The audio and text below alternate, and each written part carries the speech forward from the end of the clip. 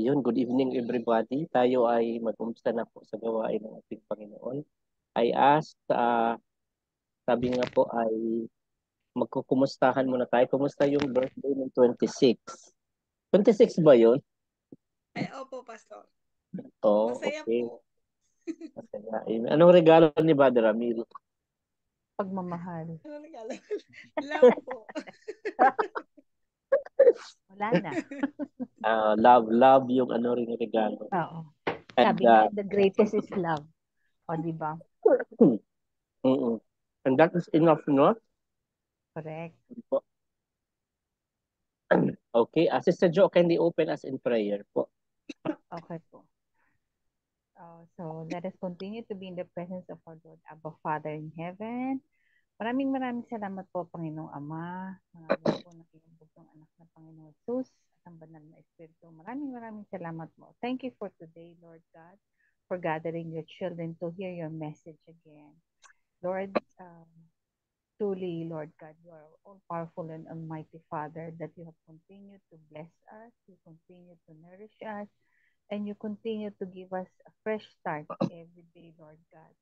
Maraming maraming salamat po sa iyong pagmamahal na tunay po na nararamdaman namin sa bawat oras na iyong pinangangalagaan namin ang aming physical na pangangatawan, ang aming mga trabaho, ang aming mga mahal sa buhay. Lord Heavenly Father, we ask you to continuously open our hearts, Lord God, and our minds, and let the message rest so that so that it will be a habit for us, Lord God. Let us learn from your message, Lord God. And we continuously, Lord God, uh, uh, nilalatag po namin sa iyo ang aming mga bawat hakbang, Lord God. Let our thoughts, let our desires, let our, uh, whatever we do, Lord God, let us glorify your name and praise your name. Lord Heavenly Father, thank you for, again, Pastor June, for using this vessel, Lord God, as a vessel for your message, Lord God. Maraming maraming salamat po ulit. Wala po kami paglalagyan ng, ng kagalakan na kahit po sa mga pangyayari nag, nagaganap sa kapaligiran, meron kaming kapayapaan at kalagayahan at kagalakan knowing that whatever pain we are suffering, nothing can compare to the hope that is coming. Through your Son, Jesus Christ, we thank you, we praise you, we glorify your name. In Jesus' name we pray. Amen. Amen, amen. So, kailangan po ay mag-order ng something from Jollibee para hindi mapaalis dito sa ang kinauupuan. Kasi kanina nag-pray ako na uh, hoping na pagkatapos ko ng pagkadating ko from ano from the city mm. galing kasi ako ng city for one reason ay yung taong nakaupo dito sa banda banda dito ay ano uh, aalis pagkadating ko talaga patayo na siya kaya tumakbo talaga ako punta dito para maka-charge ng akin ng laptop and uh, sinundo ko yung aking brother-in-law kasi may pasalubong nga sila kambal may ano, kakain pa na tayo ng ano no? Laing. Cheesecake. Ah, cheesecake. Oo, wow. saka mayroon pang mayroon pang chicharon yung pampabata ng mga pasalubong sa banana chips. And uh, cholesterol. Oo, meron pang t-shirt. Anyway, uh, si Brother Ibig pala, akala ko kasama siya. Na-segue mo naman, Pastor eh. Oo, Na-save mo naman. Oo, na. hindi pala siya kasama. Kaya lang, safe travel pa din, di ba? From Ansuman to to the airport and then pabalik ng Ansuman. Yes. So, umpisa natin ang 2024 na masigla at tayo po ay magkakaroon ng games. Okay. Muna bago tayo mag-umpisa sa ating ano sa ating gagawin. Ang games po natin ay scrambled word. I mean letters. Oh. Okay. Kailangan mong buuhin ang word. So, Okay. Ang contestant number one natin si Sister Jo, number two si Sister Badet, number three si Brother Ramil. So, ganun lang ang round niya. So, kailangan natin ng 10, 10 seconds siguro para po ay pressure masagot, masagot ang ano ang mga mga katanungan na mag-appear sa ating screen. So, maliwanag naman po yung Walang ating... clue? Walang ha? clue, Pastor? Meron, meron sa baba. May, may definition. Okay. Oo, may Okay. difference. So magbibigay muna tayo ng sample. Okay, sample. Okay, sample muna. Ay, dapat magpakita, ano, dapat ah, usog ka, adjust ka ng konti, Sister Badet, para makita si Ay, Brother Ramil sa camera. Ayun, okay. Yun, makikita na. Praise God. Ito na, clue. Ah, ito na ang una. Scramble words. Tayo. Sige daw. Length. Ah, ang galing. Four Galing. seconds lang. Four seconds lang. O, Totohanan, totohanan na ito, ha? Kay Sister Jo ito. Ay!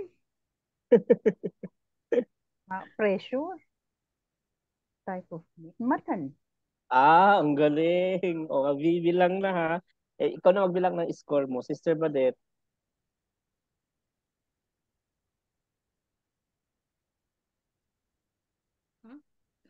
orange. Orange.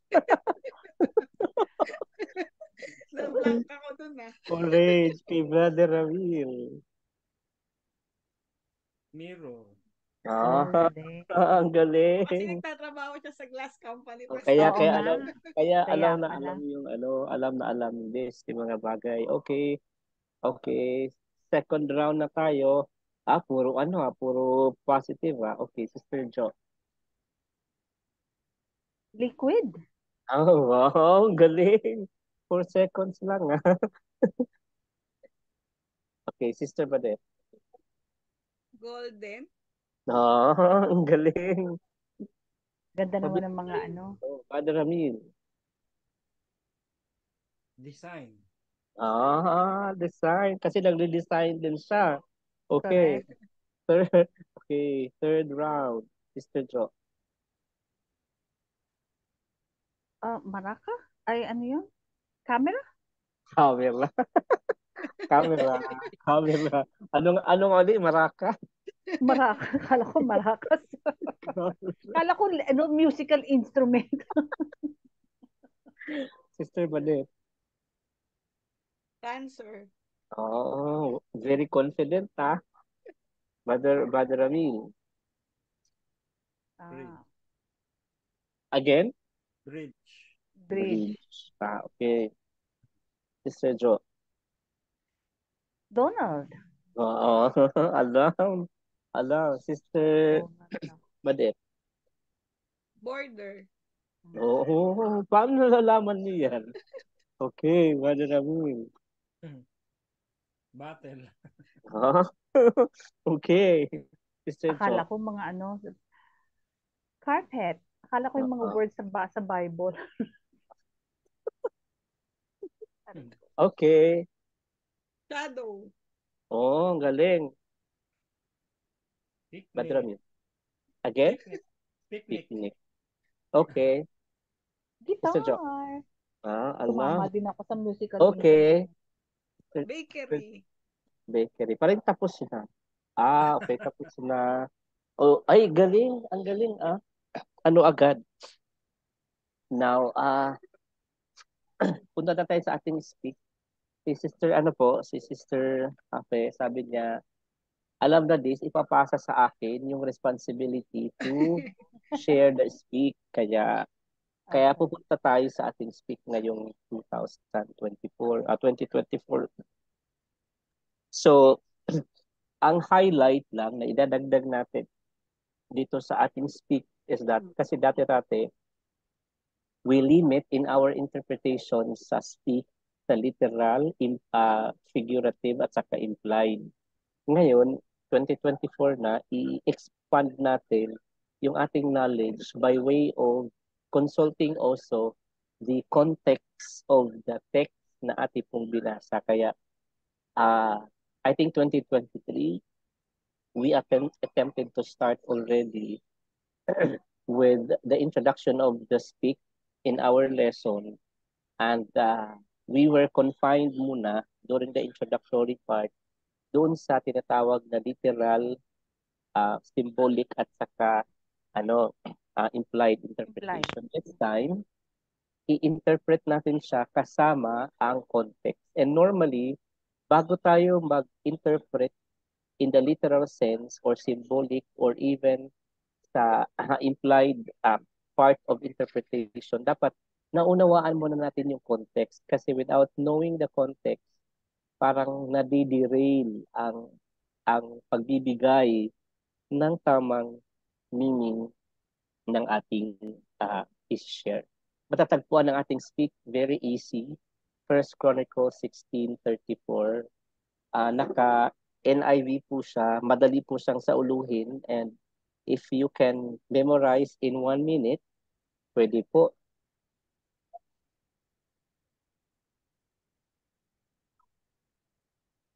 Simple lang siya, di ba? Madaling sauluhin. At saka, madaling gawin.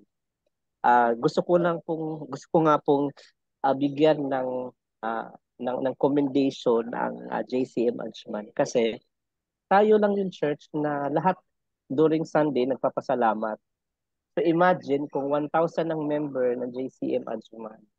Kailangan kailangan lahat, no, lahat nagpapasalamat talaga. So uh, I mean the Lord is seeing the hearts of his people.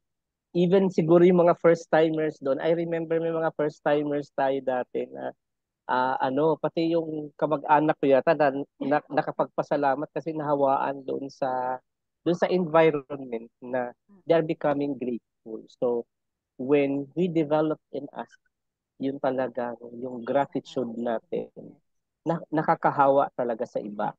Pero, titingnan natin sa context ng Word of God. Bakit nasabi ito ng 1 Chronicles chapter 16 verse 34? Kung babasahin natin, mayroon pang mayroon pang verses 1 to 33. Tama po?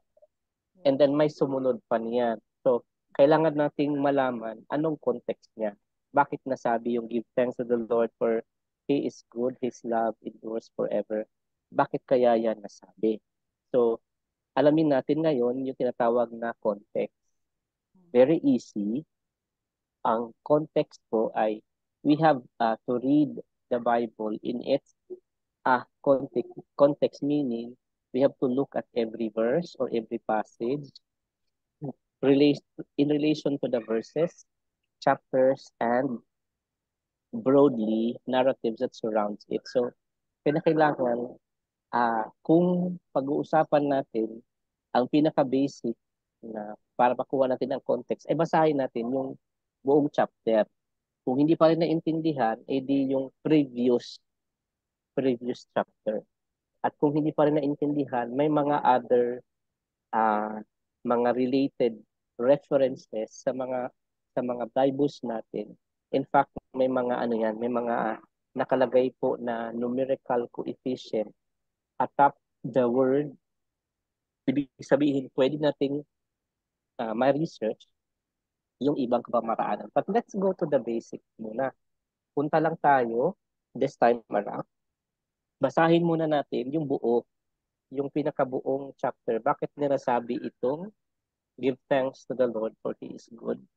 His love endures forever. Okay.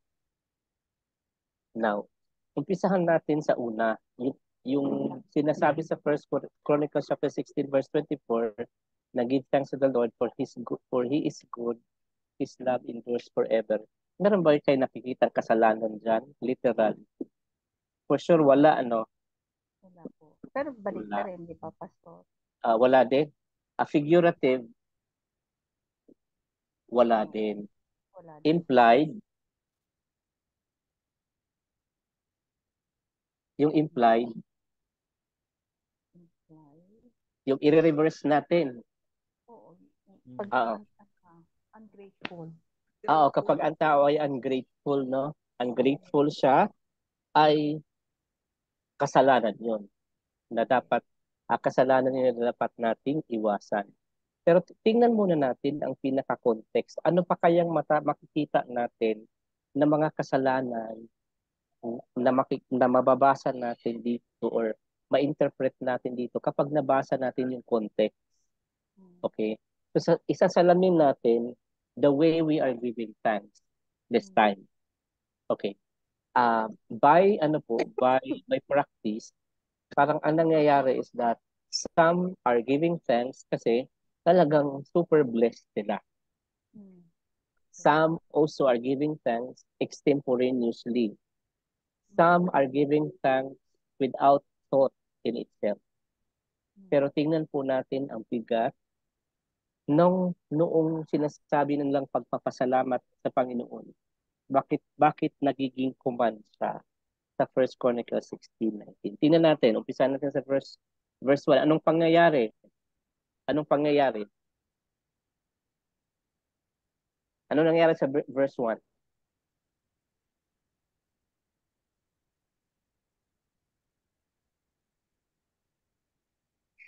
Nakasagabal ba yung ah, nakita natin ang buo? Yes po. Okay. Ano nangyari sa verse 1? Ministering before the ark. Ano to? Bas, bas, bas, babasahin, Pastor? Sige daw, ano? Okay, sige daw po. Ano nangyari sa verse 1 kaya? Uh, they brought the ark of God and set it inside the tent that David had pitched for it. And they presented burnt offering and fellowship offering before God. So, ang Ark of the Covenant na ibalik Hmm. galing sa house ni Obed Edom. Yes. Okay? So, kung i-connect natin sa verse 34, nagpasalamat sila dahil Pagbabalik. Sa na pagbalik. pagbabalik ng Ark of the Covenant. Tama po, tama po ba tayo? Yes po. Mhm. And then nagpasalamat sila ah nagpasalamat sila after exercising ano yung in-exercise ni David? Ano yung offering Offering. na ginawa niya? Burnt offering and fellowship. Okay, burnt offering sa fellowship offering. Hindi siya nagpasalamat ura-urada ah, without performing the required The ritual. uh, the, the required rituals uh, before God. So kung titingnan natin, ang ang pagpapasalamat, pinaghahandaan, Hmm. pinaghahandaan siya. No? May, may ano talaga, may thought. So kung nagpapasalamat tayo na hindi pinaghandaan, I think that is something na i-correct natin this time. Hmm. Hindi masa- masama po na magnanarrative po tayo ng pasasalamat, pero pinaghahandaan natin. At saka may malalim na naintindihan natin yung pinakamalalim na rason. Okay, verse 2. Basa. Mhm. After David had finished sacrificing the burnt offerings and fellowship offering, he blessed the people in the name of the Lord. Mhm. Si, si ano din pala no si si David parang priest, Parang ano siya? parang, priest ka rin. Levite. Yes. Oh, Levite. O, tingnan mo. Yes. He blessed the people in the name of the Correct. Lord. Mm-mm. Aha.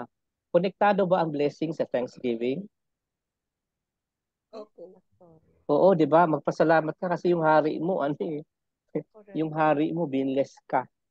'Di ba? Praise God. Number verse 3. Verse 3. Then he gave a loaf of bread, a cake of dates, and a cake of raisins to each Israelite man and woman. May expression of ano din Thanksgiving, binless na din yung mga mga tao ano. So ma- mahaba po ito sa verse 4. He appointed some of the Levites to minister before the ark of the Lord to extol. Mm, kasama sa Thanksgiving yung ano, yung Appoint. yung yung appointment sa yung leadership ba. Okay?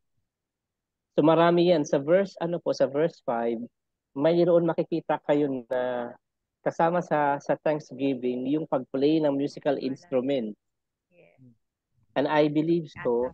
Na, na pagkat, dapat po ay ah, when we worship from the very start itself nung ano ka na nung nag-umpisa ka ng nag-umpisa pa lang na nag-opening prayer pa lang nasa isip mo na yung pagpapasalamat Pagpapasalamat. Yes. ah, ah, na para along the way it it really deepens within our core na ah ito na ito na yung time na nakoy magpapasalamat makikita natin ito very well established yung ah, yung sistema ng papaano i-declare ng mga tao yung pagpapasalamat nila. And then meron pa oh verse 6 ang sinasabi pa doon were to blow the trumpets regularly before the ark of the covenant of God. Perpetual. Ini-establish yung perpetual na rituals to to announce and to give remembrance to all the people that they really have to give thanks to God. Verse 7, parang the same lang din ito. And then verse 8, nandito yung mga declaration. Ano yan? Verse 8 to to 11. Pabasa nga ulit. Give praise to the Lord, proclaim his name, make known among the nations what he has done. Sing to him, sing praises to him, tell of all his wonderful acts. Glory in his holy name, let the hearts of those who seek the Lord rejoice. Look to the Lord and his strength, seek, seek his face always. So ito yung ano yung give thanks to to God. Give thanks to the Lord for he is good. I mean, this is how it was recited. So uh, thankfully, thank God for the lyrics nung nung sinasabi niya, sinasabi niya. Kasama din sa essence ng Thanksgiving, verse 13, ang sinabi diyan. 12 para 12. You, his servants, the descendants of Israel, his chosen. Hindi po, verse 12 ba? Ay, ano pa po? Verse 12, Verse yun, 12. Pastor. Oh, remember the wonders he has Ah, done, yeah. and judgment he pronounced. kasama sa ano, kasama sa essence ng Thanksgiving, yung yung remembering. Kaya nga kaya nga siguro tayo ay ah, may kwento tayo, 'di ba? Nagkukwento tayo what our experiences are. And uh, nire-relate natin ito doon sa kapangyarihan ng Diyos sa buhay natin. So, Sa yeah, um, yeah, yes po. part of, kasi dito nakalagay, and the judgment he pronounced. Kasi di ba minsan ang judgment, we put it uh, on a on the opposite side. Kung baga pag sinabing judgment, pangit, di ba? Parang, Mm, mm-mm. di ba, pangit. So, it, it is, is it part of the, of the Thanksgiving? The, I mean, sabi nga, di ba, yung Bible kasi, it's a, it's a balanced uh, Mm. book of about God. Actually, di ba, kung titingnan natin, one of the aspects ni Lord is He is a just God. Yes, he's the judge.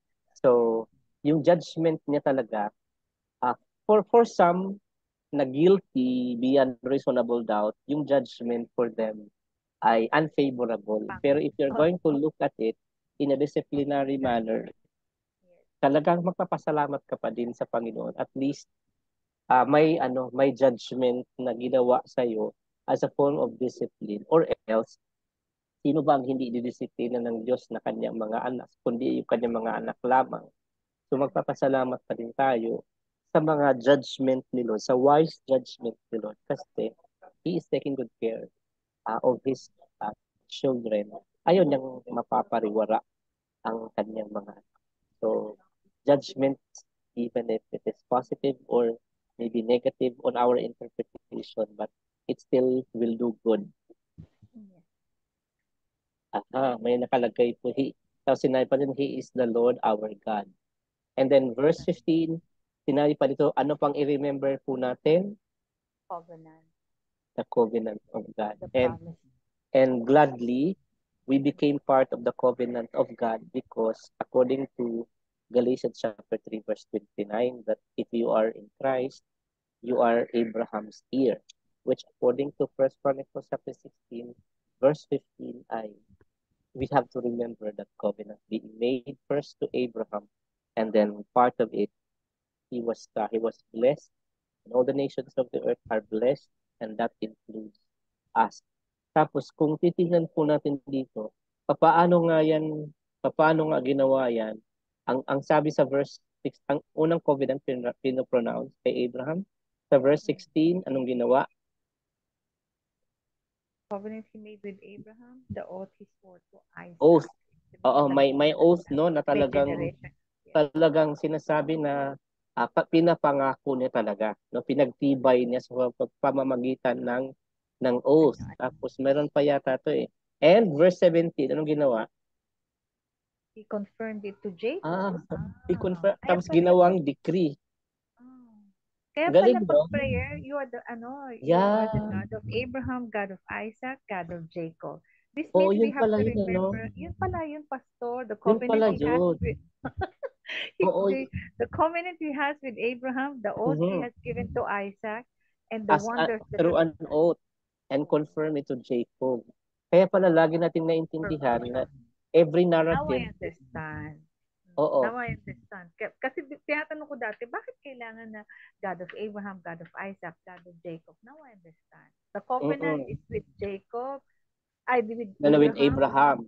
Oo, the the Tapos the- promise it on oath to, promise oh, uh, On oath, to Isaac. and, And then the confirm confirmation kay to Jacob. Jacob as a Ah. decree. Yes. Ang galing. So when we remember, when we remember those covenant, ac- actually manginginig ka sa ano eh, manginginig ka sa lalim nung noong hugot dapat natin kapag nagpapasalamat tayo kay Lord. Exactly. So another thing, another thing pa po dito na tingnan mo po yung ano, tingnan mo po yung protection he has with the protection and preservation na ginawa ni Lord sa mga sa mga kalahi ni Abraham. Pwedeng basahin natin nga ah, sa verse 20. Badet. They wandered from nation to nation, from one kingdom to another. He allowed no one to oppress them. For their sake, he rebuked kings. Ah, ah, he, he rebuked kings. Okay, now, kung titignan natin, ah, yung nangyari sa mga Hudyo doon sa doon sa Germany, Hmm. 'di ba? Anong anong tawag doon? Anong tawag na nangyari sa kanila? Holocaust. The Holocaust. Holocaust. Yes. Ah, actually, pinangako man talaga ni, sinabi man ni Lord na, I will not kill you totally naman. Kasi because of their disobedience, di ba? May, ma, may mape-preserve pa din. Hindi lahat. Kasi, na, he cannot go against his word eh. Na nasabi na, he will be, they will be scattered and uh, some of them will be killed which uh, nangyayari naman talaga. Pero he preserved uh, a certain number of the generation. Kaya nga, ba, na napunta ng Pilipinas. Mm-mm. Napunta. Correct. Sino ba ang country na nagbukas? Sa Asia, Pilipinas lang po. Pilipinas Tapos- lang. Oo, Tapos- Pilipinas lang. Yung US ba nagbukas sa kanila? Hindi yata pa. Hindi ko hindi ko alam no. Basta nag basta may nagbukas and then they are being preserved and um nung nung nag-umpisa siguro silang nag-umpisa tumalima sa Panginoon muli ah talagang makikita natin that there is this powerful protection of God in them. Even to this day makikita natin that there is really protection. Siguro siguro pag nawala na lang yung shield of protection na yan na matupad yung second coming ni Jesus uh, saka na mangyayari po yung nakasaad sa nakaprophesy sa atin. But generally they were being preserved up until the time that they became a nation again up until the time that God gathered the remnants of Israel sinabi ko doon na touch my anointed ones sabi sa verse 23 nandun yung singing to the Lord for the earth proclaim His salvation day after day. Araw-araw pala dapat. Tapos, sabi pa, declare glory among the nations. And then, the Lord is most worthy to be praised and feared above all gods. For all the gods of the nations are idols. But the Lord made the heavens. Another aspect po na dapat po nating sabihin ay matatagpuan po sa part ng Thanksgiving ay mag-umpisa sa verse 28. Pabasa po hanggang 30. Ascribe, ascribe the Lord, all you families of nations. Ascribe to the Lord glory and strength. Ascribe to the Lord the glory due his name. Bring an offering and come before him. Worship the Lord in the splendor of his holiness. Tremble before him, all the earth. The whole the world is firmly established, it cannot be moved. Pa pag-google nga ng meaning ng ascribe. Attribute something to. Aha. Okay. Yeah, yan lahat, lahat i-attribute natin Yeah, kay God. And that is thanksgiving. Regard Thanks be to God. Yeah, thanks thanks be uh, to God. Kasi yun po yung dapat na na-attribute. So, prior tayo mag-express, mag-declare ng mga thanksgiving natin sa Panginoon, dapat marami muna tayong remembrance of the things that He has done in us. Dumaan muna tayo sa preparation. Dumaan muna tayo sa worship. Dumaan muna talaga tayo sa malalim na reflection of what He has done. Dumaan muna tayo sa, sa tunay na pagkipag-ugnayan uh, sa Kanya before we can truly ascribe to the Lord uh, the, the aspect of thanksgiving, which in turn also an expression of our worship. And I think uh, the the the sin, the other sin na implied po na dito sa sa word na give thanks to the Lord for He is good. His love endures forever. Is yung pagiging ano natin, yung parang yung parang we are taking the word thanksgiving so lightly na we are unprepared uh, enough to sincerely express uh, the reason why you are giving thanks to God based dun sa context na pinag-usapan natin. Mm-hmm. Okay na po tayo. Sunod na po tayo sa pangalawa.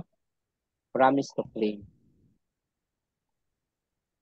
Kapag tayo po ay nagpapasalamat sa Panginoon, understand uh, the very context why we are giving thanks to God. Ano kaya mararanasan natin? His goodness, His love. His goodness, no? His goodness. Ah, talagang maranasan natin kasi doon mo ano yung the more you understand ah, yun, yun ba, yung the very context of the word. Kagaya nga na sinabi ni Studio, ah, kaya pala, kaya pala kailangan ma-mention talaga yung ano, God of Abraham, Isaac, and Jacob. So, na-mention talaga yung patriarch na ma- mararanasan talaga natin yung goodness ni Lord. Kung paano po naranasan yung, yung goodness din nila, ni Lord in the lives of Abraham. Kung titignan po natin, sabi po sa Bible na they died in good old days. So, tumanda sila pero good old days. Ano kaya itsura nun? Ano? Okay, example to emulate. Halimbawa na dapat nating tularan. Kailangan Being grateful. being grateful talaga. No? Yes. Gratitude. Gratitude. And uh, grat- gratitude with the understanding, with deep understanding of the reasons why you are uh, thankful to God. No? May historical siya na perspective. Yes. Attitude to adapt. Nandyan na. No? Give thanks. No, give thanks to the Lord. Sa Lord yung na-ascribe yung pagpapasalamat. Okay. Individually po, I will share, uh, we will share our knowledge and principles to live by based po sa 1 Corinthians 16 to 34. Uh, verse chapter 16, verse 34.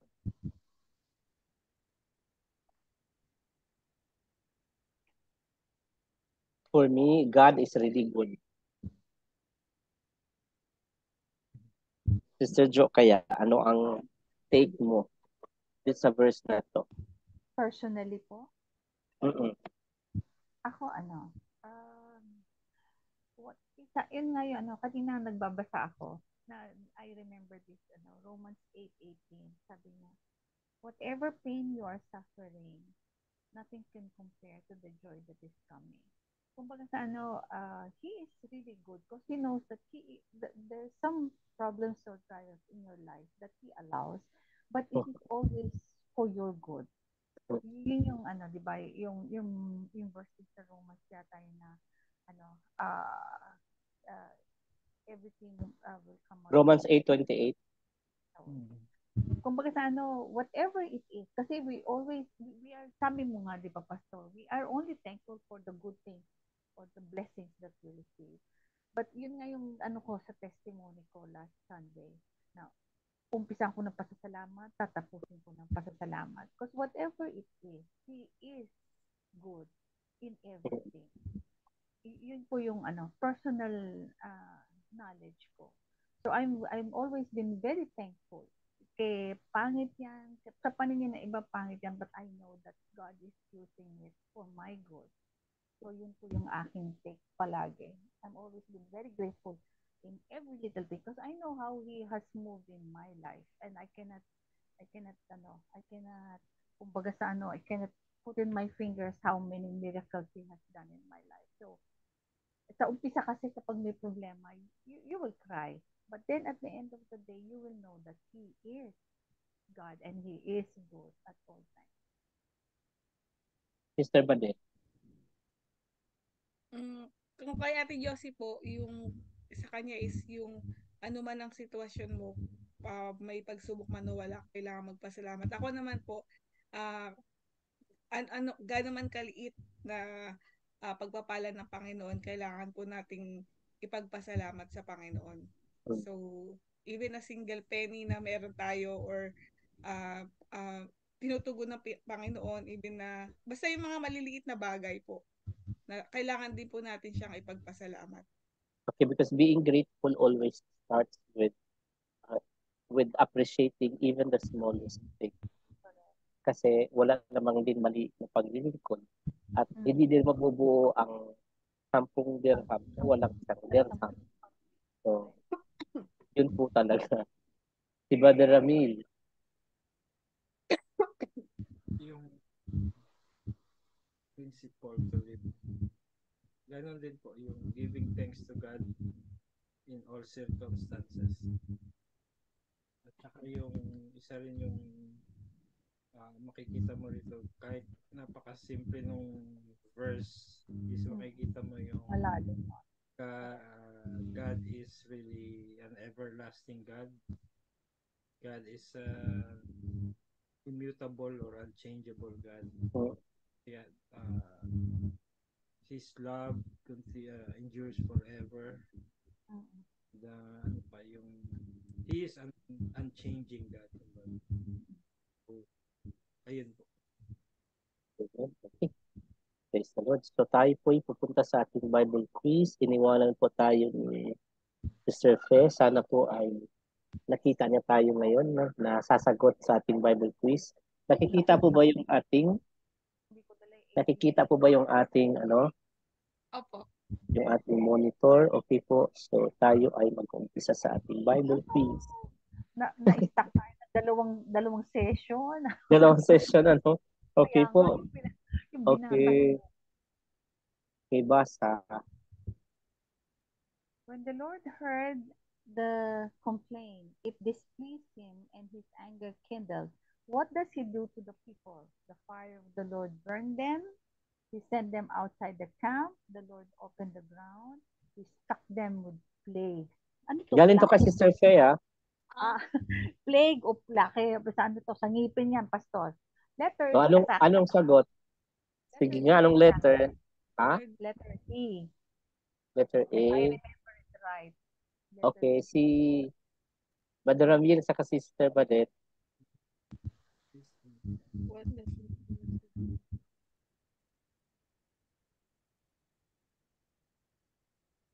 Letter B. Mahirap kapag Letter nababakasyon. B daw. Ano? Copy-paste? Letter C. Ano ba yan? Letter C, okay. May letter A, B, and C. Okay, let's see kung ano ba sagot ni Sister. Marami ano option. Ah, Ay, Ah. fire. Fire of the Lord burnt them according to Numbers 11.1. So, pwede ting basahin yan later on. Okay po. Number two. When, was the manna provided? At noon, in the morning, when the dew fell in the night, none of the above. letter B. Ang ko letter, ano, uh, The morning. hindi, morning ba? B. sila kukuha nung, uh, when was the month? Bumagsak eh, pero ang, ang, ang Ano ba nila, yung mo. fell in the oh, night? fe- ano yun eh, alam ko letter ko, so, anong letter? letter B. C ako. Ah, letter B, si Sister Badet. Letter C, si Sister ah, Jo. Si Brother Ramil. B. B. Letter B B din. din. Sila po yung nagkakaisa. The, the answer is letter C. Ah, Sa gabi bumabagsak, sa morning nila kinukuha. ah okay. Ah, okay. Okay po. Bumabagsak sa gabi. Yes. Okay, number three. On how many men did God put his spirit to help Moses carry the burden of the people? 70. Dami ah. Oh, ilan po? Let's so anong sagot? Letter Seven. T. Seven. Ah, ito, ito, ito yung scenario no na kung saan yung father-in-law ni Moses ay na bumisita sa kanya dahil si Moses kasi is very workaholic, laging nag-overtime. Parang sa office lang. Sino ba nag-overtime siya? Laging Kapatid. nag-overtime. Sabi niya, ay, ano mo naman, i-divide mo yung Oo, responsibility mo. delegate. Yes. i-delegate mo yung responsibility. Tingnan nga natin, baka naman 7, di kasya. Baka naman 12, di din kasya. Baka 24, di kasya. Kaya ang sagot ay 7. Okay. So, sagot na lang agad ha, sagot agad. Number Okay. 4. What did the Lord send while the meat was still between their teeth? Huh? Huh? What did the Lord send while the meat was still between their teeth? A, Ay, ito yung mga nagreklamo, di ba? fire. Gusto po nila ng ano, Eh, kung kasasabi mo, sa akin, ano, B, kung talagang, kung yung sagot na fire, ano, the letter B sa akin. fire. Okay. Sino pa? D Sagot. daw po. D. D. D. D. Okay. Okay. Ay, plague. a very great plague according to uh, Numbers 11:33 to 34. Number five, Ay, who was meek above all the men which were on the face of the earth? Ha, meek. Meek. Sino nga ba? Aaron, Joshua, Caleb, Moses. Si Joshua. It's either Yeah. Joshua and Caleb. Caleb. So I will go for Sige, Caleb ka, Joshua ako. Joshua. Okay. Hello, grabe. Take note of the word above all of them.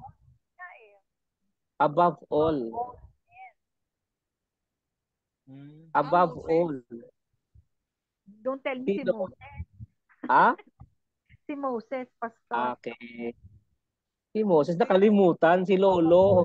Huwag kalimutan si Lolo. Okay, number six. How did the Lord speak to Moses? In dreams, in visions, mouth to mouth, all of the above? I can say, kasi he, God spoke to Moses face to face, di ba? Mhm. I can say all of the above. All of the above. do not be ano do not be ah parang deceive with the all of the above Ah, choice ganon? Ah, sige. C, C. See, Mouth mouth to to mouth. letter Mouth C okay Face to face. Oh, di ba? Face to face. okay that's mouth to mouth Yes. okay What, does What it- judgment fell on, ah, yes. D. A. Leprosy. Let- ah leprosy okay number eight How many days did Miriam shut out from the camp? Ako, ilan ba? 14? Letter C. ay masyadong ano masyado naman na or masyado naman na ano yan parang mahaba Oh, sige, the letter B. ang sagot ay Letter A. Letter A ka sister ano ba net Sabi niyo mahaba eh. Di pa ikli natin. Seven days. De, seven po. Seven. ah seven days One. Oh, seven. normally po ang ang quarantine talaga biblical seven ah, days okay. Ah, Seven okay. days. Ito yung ito yung nagpapa-question na pag hindi tama yung sagot nyo, idad, iaano kayo. Oh, di ba yung parang quiz master, uh, is that your final answer? Yes. Oh, di ba? Call a Okay. friend. Call a friend. Okay, number nine. Many, many, How many men did Moses send to explore the land of Canaan? Ah, ilan nga ba? I think it is around, uh, Twelve yata. kasi, ano, Ah, may narinig kong sagot. Twelve. din. Dalawa lang. 12 daw. ano, tribe, 12. 12 daw po. Dalawa Ah, 12. lang daw po yung nagbigay ng dal ano, Ah, maganda Sister po. Jo, 12 ka din? 12 ka din. No? Kasi 12 tribes of Israel, perhaps represented by, there is a representative for each tribe. Shall we check? Yay! 12. 12. Number 10. Caleb, son of Jephunneh, came from what tribe? Oh my, this one. I have, lang to? Galing siya Uh. Caleb. Yung, bigay, magbibigay ako ng clue. Sila yung tribe na kung saan ay nan- nananatili sa Jerusalem when the uh, the other uh, the other Israelite tribes were in exile sa Assyria. Benjamin. Joseph. Not sure, pero letter B. Letter Si Joseph, C. si Judah, hindi. Ah, ah, ah, wa- mali kayo. Paki ano, paki-revise. Si Ruben. Hala. Naubos na mga choices. ah, si Judah. Okay. Si Judah ba? He's from the tribe of Judah. Okay. How many days? Okay, number 11. Oh. How many days did the men explore the land? Ako yun na. Pagdating sa numbers, mahina ako. Oh, guess na, guess. Doon ako sa letter Yes. A, none of the above. Si Sister Joyce? None of the above ako, Pastor. Ayoko. Okay, Sister Badet. 10 days. Mhm. Parang ano lang, bakasyon lang sa Armenia ah. 10 days. Si ano ba, Ramil? 10 days. 10 days din, bakasyon sa Armenia din. But the answer is actually none of the above. Kasi ang sinabi ng Word of God at the end of 40 days, Hmm. At the end of 40 days, saka na sila ano, bum- bumalik. Okay? Okay, number 12. What report did the men give Moses? The land flows with and honey. The people are strong that dwell. Oh, yes, All of the- course. All of the Letter above. B. Aha. No. No. Isa, ano? Letter, Letter hindi D. sila mention, di ba? Land flows with and honey. Ang una nilang nireport, di ba? Yung mga tao doon, malalaki, at mga Oo. Mm-mm. Eh, Not sure. All of Pero the- letter all of the above. All of the above. Okay. All of the above. Ay, ang galing ni Badetti. Okay. Number 13. said, If the Lord delight in us, then he will bring us to this land and give it to us and give it and the Lord is with us, fear them not. Joshua. Si Letter D. Joshua. Are you sure? Caleb and Joshua. Ay, hindi. Okay. Si Moses. Siguro ni siguro ni-recite nila to kung silang dalawa, ni-recite nila to to siguro, no? Correct. Okay. Caleb and Joshua. Kasi sila yung nagdala ng magandang report eh. Number 14. Those over what age would die in the wilderness. Over what Ano? age? Lahat sila, di ba? Those Pero yung specific, nag-start. Letter A. Letter A daw. Sige daw. Ah, ang galing. So, Number you know, 15. How many years? Would they wander in the wilderness? 40. Forty. Letter D. 40. Correct. Number 16. What happened to to those who searched out the land but brought back the report of Isaac? Ah. Namatay sila pero what? Devoured by fire from heaven. As plague followed by Died by plague. Ah, hindi ako sure, Pastor. Pero, Sagot. Letter. C. ah, letter D na lang ako. Maganda-ganda. Letter B daw. Letter C yung isa. Died by a plague. Number 17. Individual commits an unintentional sin, the guilty person must bring An intention. unintentional. Unintentional. Take from the first law. Letter D. Unintentional naman, di ba? I feel, ano Ako yung letter C. Si Brother Ramil, letter A? B. B. Ako D. Okay. Ah, eh. Ah, Letter A. But he, Babae. pala. Oo. Babae. Babae. Wala pala sa isip. Number 18. What happened to those who resist violence to those filled with morning stars of must cut off. sanctify, purify? They must be from- Praise. Ah, Letter B. letter B. Letter B. Okay, number 19. What happened to the man who gathered sticks on the Sabbath? The- the- the- the- the- the- the- the- Gathered- Kasi ka dapat magtrabaho. Ah, Letter D. letter D, stone to death. Ate, mahina yung mic mo. Ay, Letter stone to death. Letter Okay. D. Number 20. What did the tassels from the hem of clothing remind them of? Ah, commands of the Lord. Obey the Lord's command of, ano? Obey the Lord's command of the Lord? Ano yun, pastor? Obey the Lord's command. Obey the Lord's The command. typographical error. Wala na Okay. ng ano. Commands of the Lord.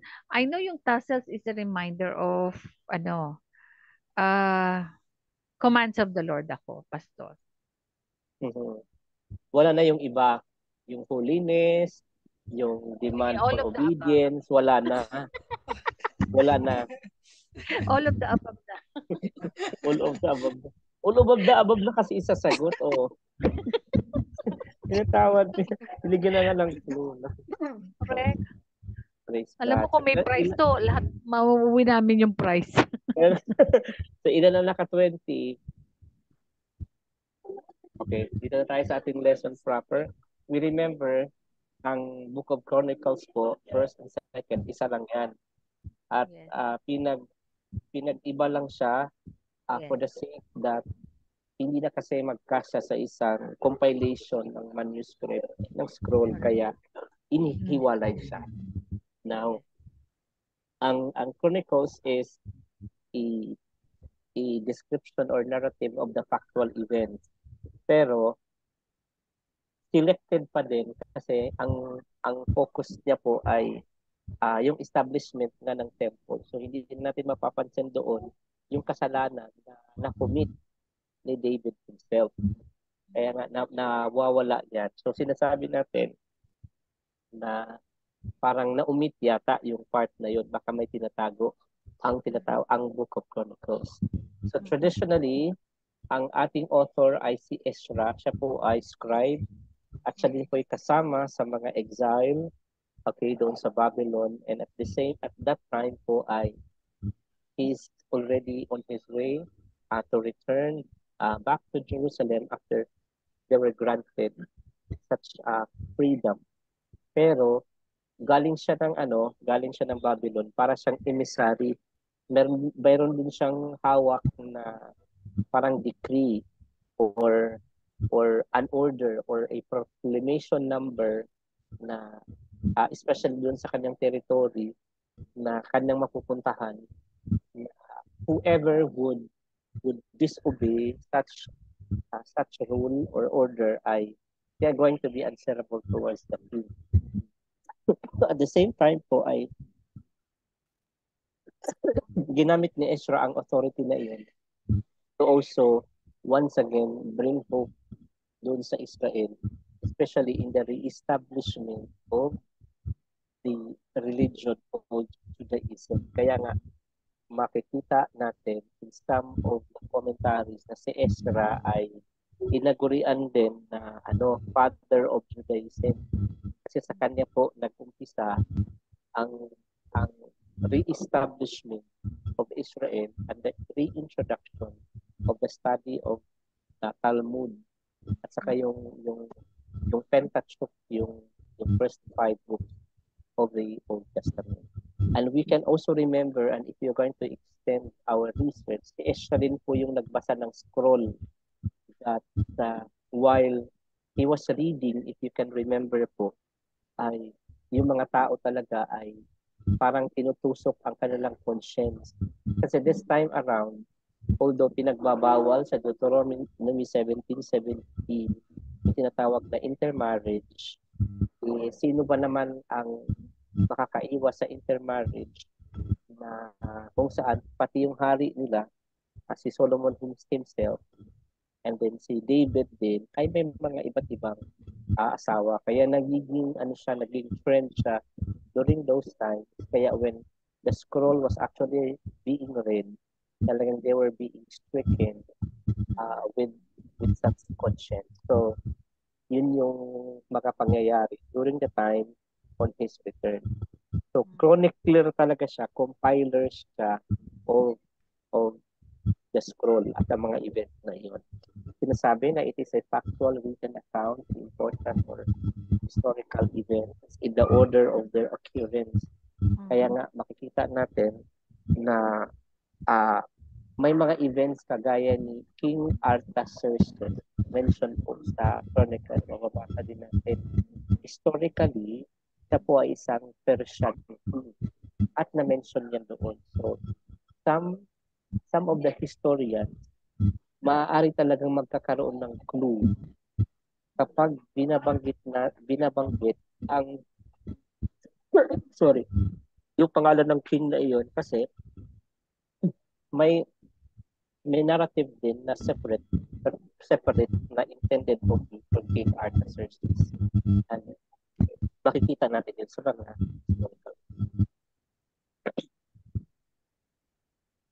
Ang mga pangyayaring ito ay occur between 4th century BC sa Babylon and, and Jerusalem. Siya po ay religious leader na, na among those people who returned from exile. Sabi niya, reformer din po siya na he reconstituted the Jewish community and Torah. Sorry, na-mention ko pala kanina yung Talmud. Torah pala yung dapat na na-mention. If we're going to connect our memory verse kanina sa 1 Chronicles 16 verse 34 na it tells the Lord for his, for his love endures forever. Makikita natin dito na talagang ang in-establish ni Lord na COVID is forever kasi may mag attempt na itigil ang existence ng, ng religion na ito, yung perpetuation ng belief, believing community Philippines.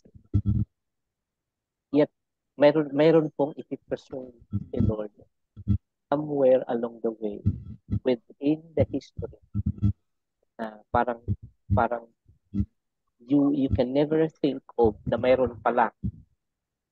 For example na lang, during the time of Elijah, you wanna discourage siya after the time na nag-perform siya in the middle of the prophets of Baal and then nanalo siya doon sa, sa kanilang contest. Yet he was actually thinking na siya na lamang ang mag-isa na prophet na hindi sumaba kay, kay Baal. Pero meron palang na-preserve si Lord na more more prophets na nakatago din sa cave. So, kung makikita natin that uh, the forever thing ni Lord in terms of His uh, establishing the covenant really is true. Kaya nga, no matter how uh, forces, leadership, um, parang pananakop na gagawin ng, ng mga ng mga tao they can because somewhere along the way God is going to establish He will use instrument. And this time kay Ezra ginamit siya as an instrument for him to reform for him to reconstitute the community of believers. This time they call themselves uh, Jewish ano po, community Kaya nga ang sabi, uh, siya daw po ang father of Judaism. Ito yung ito yung one of the monotheistic uh, religion in the world kasama Christianity at saka Islam na all uh, originated from Abraham kung titignan natin. Pero during that, that time, yun po ang religion nila. So, yun po yung kanyang inintroduce doon sa doon sa, sa Israel. So, sabi dito, it is centered around the Torah. There are about 15 million followers to this day. Meron pa, meron pa lang 15 million. I think sa Pilipinas, naka, nakapag, ano ba kayo, na na-meet niyo po, na nakamit po kayo ng mga Pinoy na may religion din po na Judaism? Pato. Usapan. Yung girlfriend ng pinsan ko, ah mayroon, ano siya, sa Cebu. Judaism ang kanyang ano, Ano religion. ko po Okay. sa ano, Amerika, di ba? Yung the whole Ano po? sa Amerika po, sa district po ng New York, yung business district doon. Those are mostly Jews. Ah, okay, okay. Mm-mm. Okay, mayroon isang magandang komentary dito, di ba kanina sinabi natin na who is the uh, who among those people na parang the humblest ba yung, ba yung sinabi na mayroon si si Caleb, si Joshua, and then the last uh, the last word is si Moses. Uh, this time around po, kung if you're going to observe the energy of Moses, the yung pagsisikap ni Moses, the way he is teaching uh, obedience towards the Israelites, mag-commit kay, kay Lord, uh, si Ezra po, with his energy, he was being regarded being the second Moses. So, ganun, ganun siya ka, ano, ganun siya ka-passionate uh, about the reinstitution of Judaism as a religion sa ano po sa Israel. Kaya, okay. Ganun po siya. Knowledge of Israel is derived from the sabi ko ano ano sinabi yan? from the biblical books of Ezra and Nehemiah kaya ah, bilang extended natin na pag-aaral ay siguro mag-advance time read sa at Ezra sa Nehemiah kung ano yung mga narrative na susulat doon. Okay. So wag na yan. Ano na tayo dito na tayo sa ano, mahaba na masyado yan. Who is Ezra? Masyado mahaba ito. Simulan. Okay.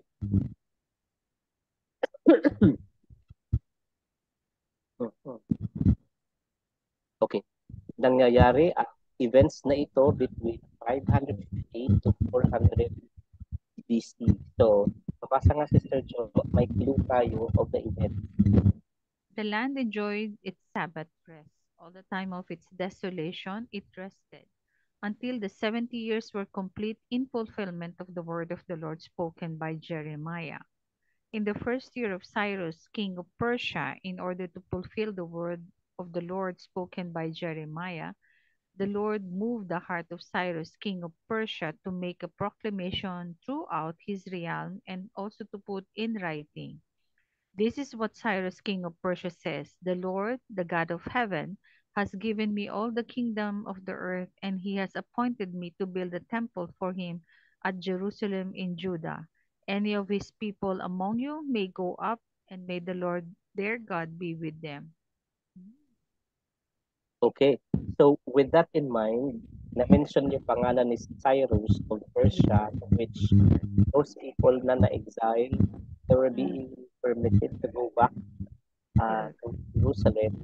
Makikita natin, ma- mabibigyan po tayo ng clue about the year. Kaya, uh, if we have time, basahin natin yung reign ni King Cyrus of Persia para po ay mabigyan tayo ng uh, within those period of time kung kailan talaga nangyayari. Based on our research, between 500 to 400 Another clue na makikita natin sa Ezra. Okay. Sa Ezra himself na siyang nagsulat. Mr. Badet? In the first year of Cyrus, king of Persia, in order to fulfill the word of the Lord spoken by Jeremiah, the Lord moved the heart of Cyrus, king of Persia, to make a proclamation throughout his realm and also to put it in writing.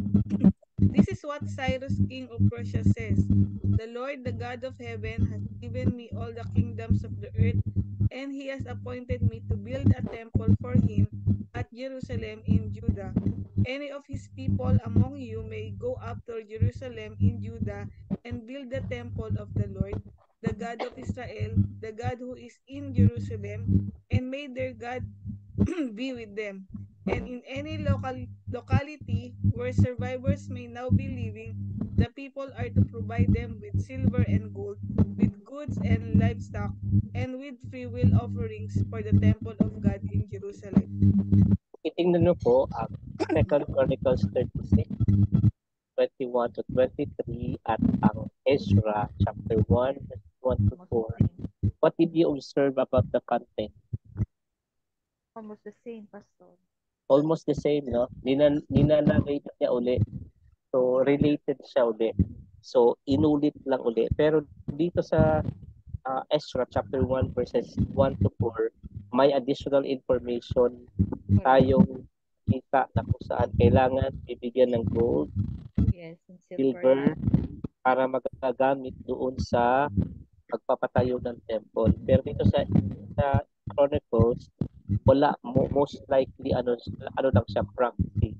Kaya nga ang title dito sa, sa, Ezra, Cyrus helps the exile to return. They are to return not empty-handed. Hindi lang with the time that they exiled from Egypt. Meron din.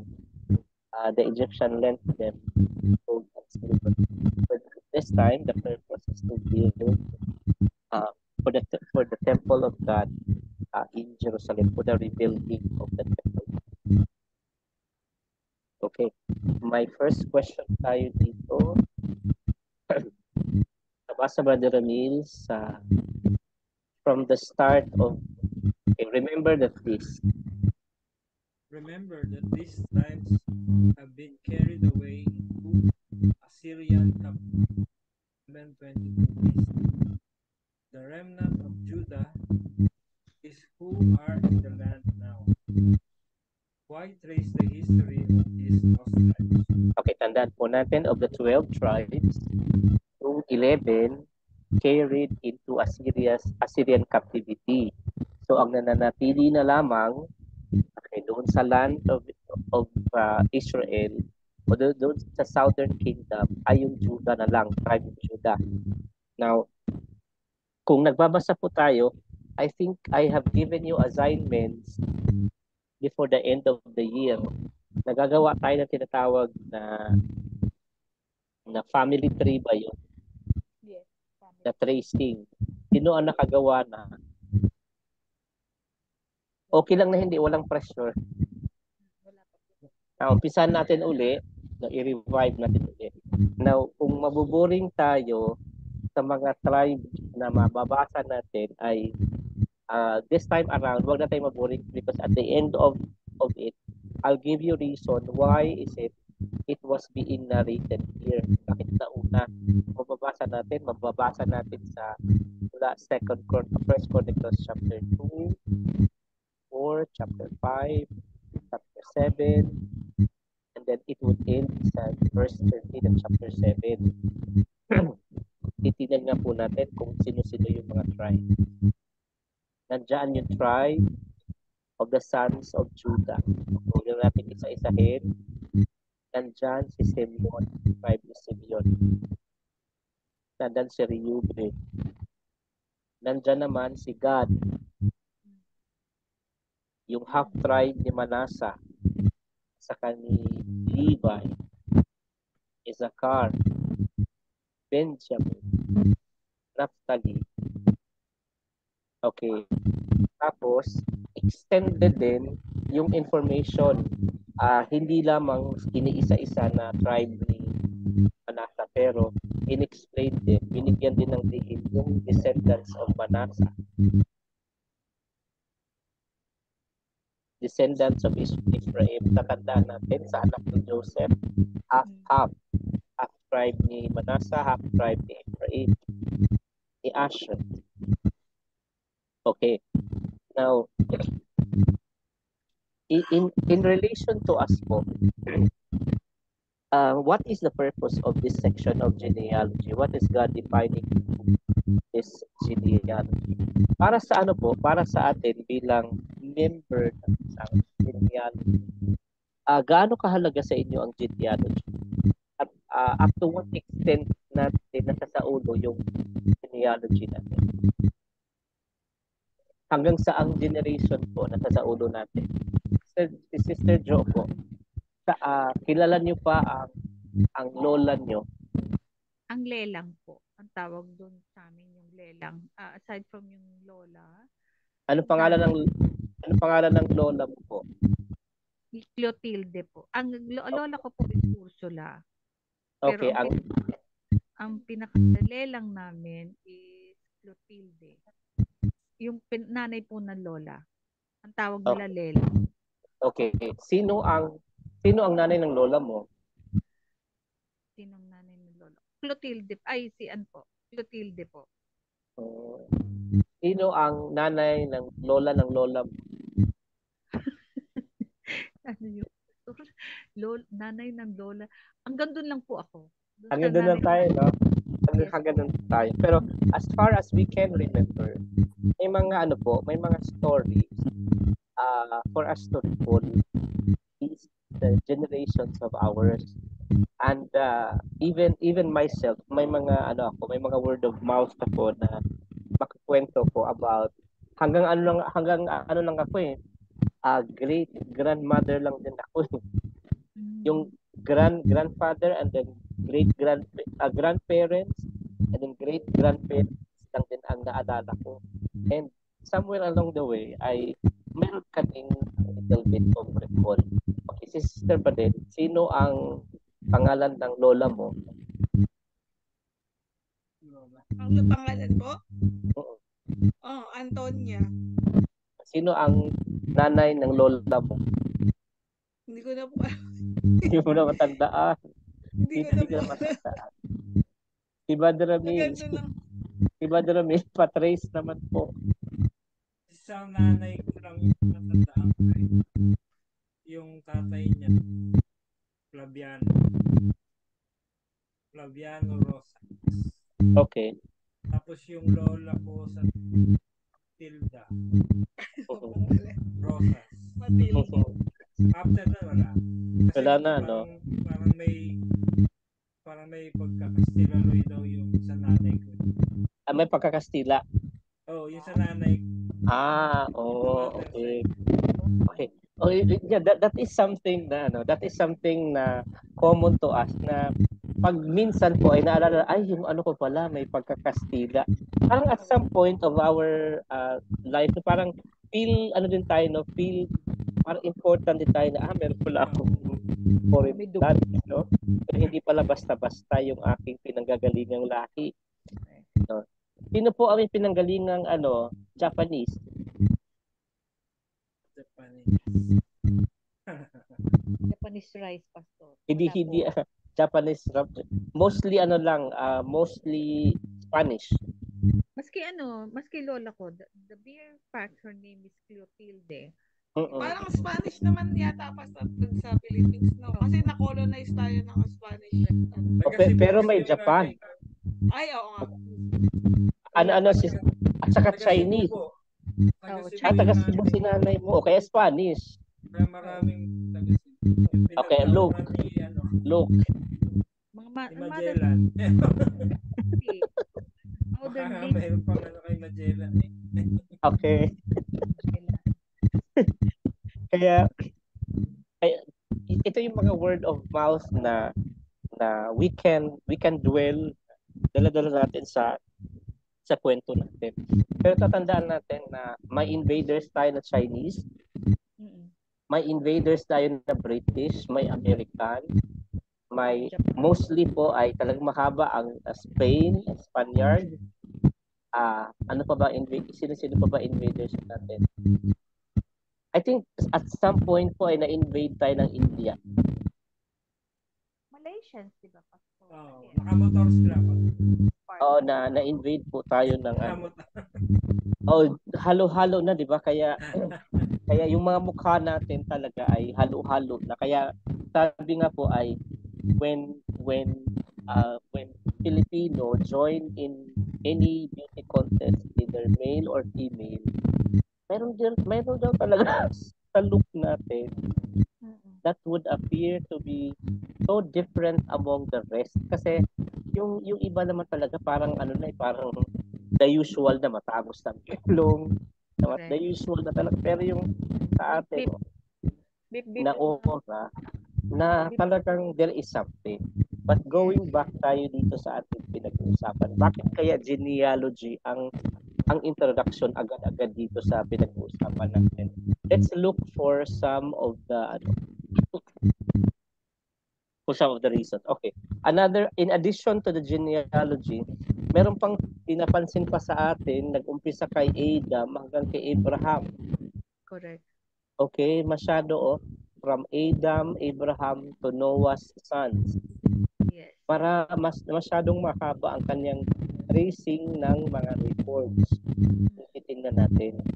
And uh, siguro po ay pag further research tayo with our genealogy, yun yung pinanggagalingan natin, saan tayo nang galing para tayo ay talagang makompleto natin.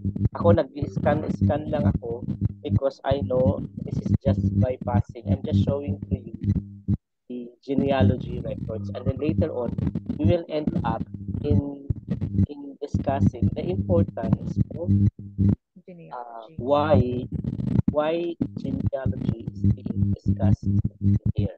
Okay, let's begin with this one. Okay, let's begin with Sister Jo. Ito munang una, the genealogies. The genealogies in the Bible provide important records of historical succession, continuity, and legitimacy. But this lineage also provide unique insights for our families. Tama. Tama nga naman, di ba? Ano sa For example, nag-end tayo kay Noah. O saan ba, ga- saan ba, di ba nahati sila sa tatlo? O, sila nag-spread through. Saan tayo galing? O, siguro tayo half-half. half-half nung mga, mga genealogy nila. So, most importantly, totoo nga naman, historical succession. Kasi in each and every name, may kaakibat na history. Each and every name, kapag na-trace natin, makikita natin yung prophecy of the 14th, 14th, 14th generation.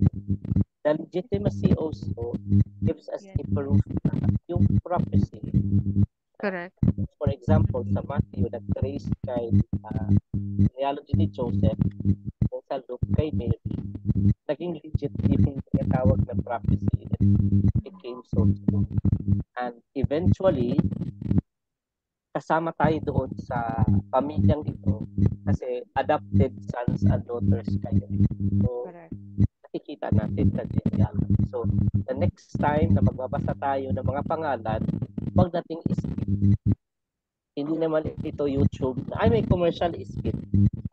Intindihin natin yung kahalagahan ng mga pangalan.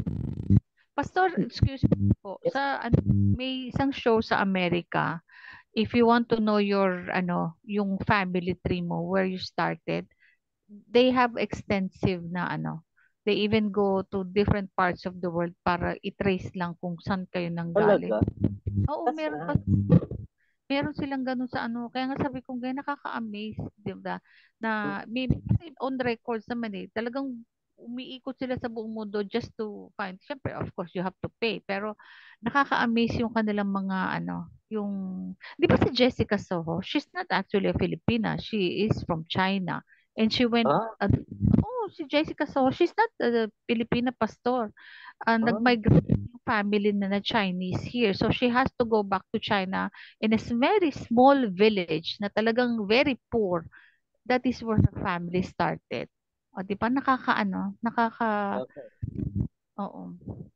Pero Pero kung dito, kwento, merong kwento ako sa Chinese, mm, yung pangalan ng ano, pinagagamit yung pangalan ni Pe Go as sentence. Fe, Go, Go. and at saka ano pa to? Use use the name uh, uh, use Pe, Pe Go in a sentence. Ang Use pangalan, it. ang pangalan na kasi ay Pe, ang pinili niya Go. Okay. So, Pe Go went to town. Mali daw. Ang, da- ang dapat. Dapat Pe, Pe lang went to town. Eh, kailangan video, they go in town. Eh, Kasi ang pang- apelido niya buo niyang yung Go, di ba, pangalan? Ang ang buo niya kasing pangalan, Fe, tapos apelido Go. Go. Kaya Fe, Go, went to town. Na-double daw yung, na-double daw yung, ano, yung verb. Anyway, going back. Pero interesting yan ha. Magpa-trace din kaya tayo, no? Naku, mahal ang bayan. Baka mahal, Pastor. Balang bayan. Ano? Pastor, di ba si Prince Charles, everybody knows that she has a an illicit relationship with Camilla Parker Bowles. Did you know that um, yung sa genealogy ni Prince Charles, yung lolo niya, ay, the great-grandfather niya, who was also a prince, who was supposed to be a king, had to denounce and had to, ano yun, bumabasa pa niyang pwesto because he has to marry an American divorcee. So she renounces ano kumbaga sa sabi nga nila it runs in the family sa ano sa paano sa ano to abdicate pala ayun pala yung word he has to abdicate yung throne because of a love for an American divorcee Ah, Yun yung- ni Harry. yes si Harry kumbaga sa ano he has to abdicate his role for ano for si Harry naman pastor nakuha niya yung ugali ni Princess Diana eh, 'di ba? Oo. She's very ano, she's not for she's not fit for royalty ano etiquettes. Pero 'di ba? Yun yung ano, she captured the hearts. O napunta tayo sa ano ah, sa royalty. of But anyway, it also like speaks of the ge- genealogy, no? Kaya nga, ba yung kingship succession doon sa, sa Buckingham Palace ay ano, pastor, sa continuity. pastor siguro sorry sa genealogy din siguro magsisimula yung mga ugali. 'Di ba yung Hmm. anak ni ni ni Lot, yung dalawang yung Ammonites at saka yung ano, Yeah. dalawang, 'di ba? Yung mga ugali nila, it goes down even to their descendants, 'di ba? Kung ano yung mga pag-ugali ng kanilang mga ano inumpisahan, it carries over. Ah, so na sa ating choice no, na whether we have to continue or discontinue. Okay, let's go now to Sister Bade. Sister Bade. Apo. Like any family tree, the ones who care about it the most are usually those whose family it represents. You will find that you care more about your family history than those not belonging to your family. So these chapters would matter to those families. Ay, nawala. Nawala siya. Nawala si Sister Bade. Ah, ituloy natin, Sister.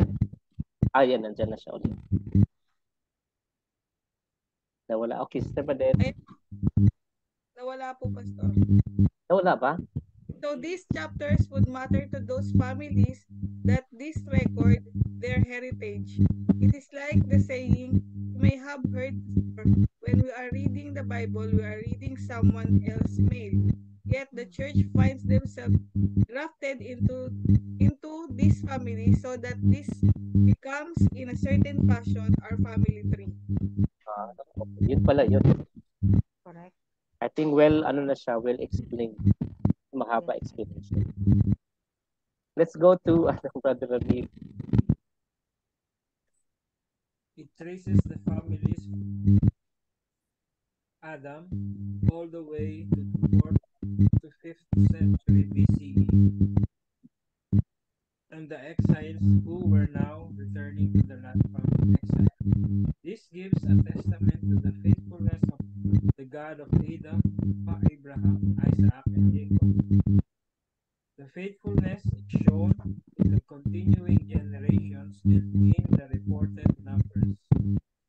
This deity, Yahweh, was faithful to judge the rebellion of the people, but better yet, this God was faithful to his name, Yahweh, and was gracious and compassionate, slow to anger, and abounding in love to a thousand generations. His mercy is not like his justice. He is a good God. Okay. So again, we- well said din siya. Kaya yung memory verse natin kayo na First Chronicles chapter 16, verses 34 speaks about the thing, the forever thing, the faithfulness of God from one generation to another and from generation to generation. Balik tayo kay Sister. It includes testimonies of both faithfulness and unfaithfulness in the genealogical records, which serves to offer an honest appraisal and point the readers towards lives committed to faithfulness to the God of Israel and living faithfully in the land. we can see really by tracing, uh, by putting in a platform these names, makikita natin doon kung sino ang faithful sa sino ang hindi. Yes. Kagaya po yun ng listahan ng mga hari ng Juda at saka ng Israel ng Northern at saka Southern Kingdom. Kaya kapag may mga ganitong parang summary of summary of names, later on po ay ah, hindi lang natin siya dapat i-bypass na ah, walang kahalagahan. There is something that God wanted us to understand because in a similar fashion, we are part, in fact, sabi sa commentary, we are grafted into the fact. Kaya, yun po yung ating, ah, meron pa pala. Sister Badet.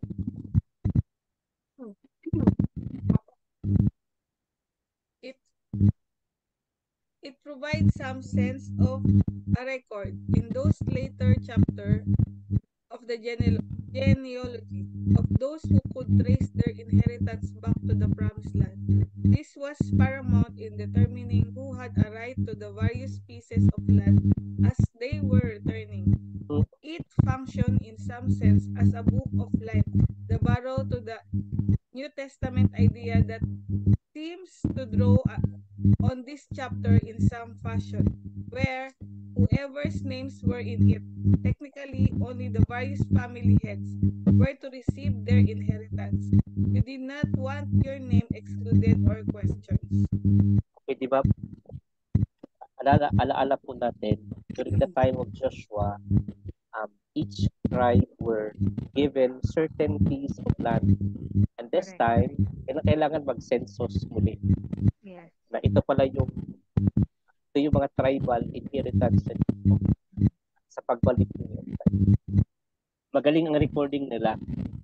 Magaling po yung census na even if they were in exile, meron pa ding mga writers, meron pa rin mga scribes that preserve those records. And hindi yan, ano, hindi yan ah, yung just a simple parang circumstance lang.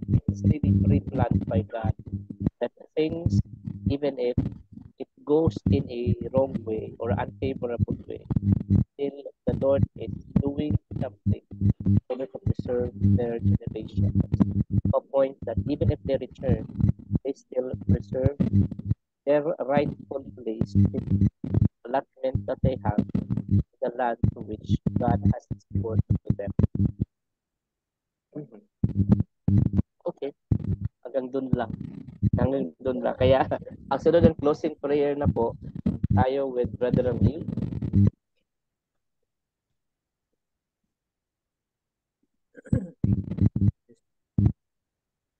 Father in heaven,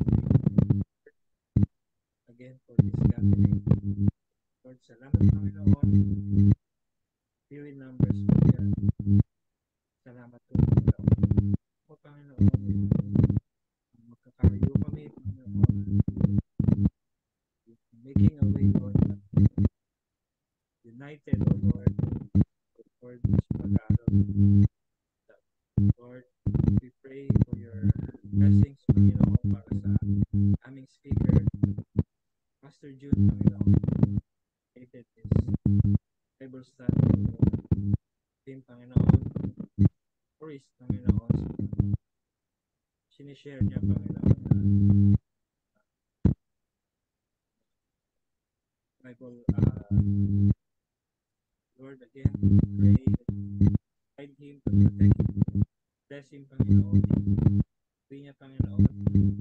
Siya sa sa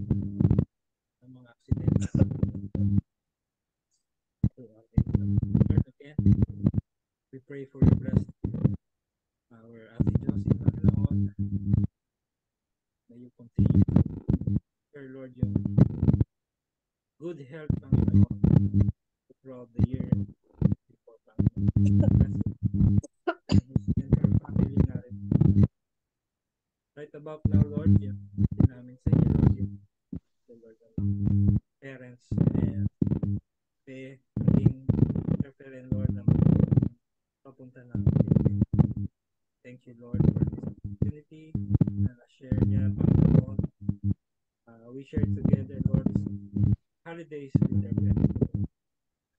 And we pray, Lord,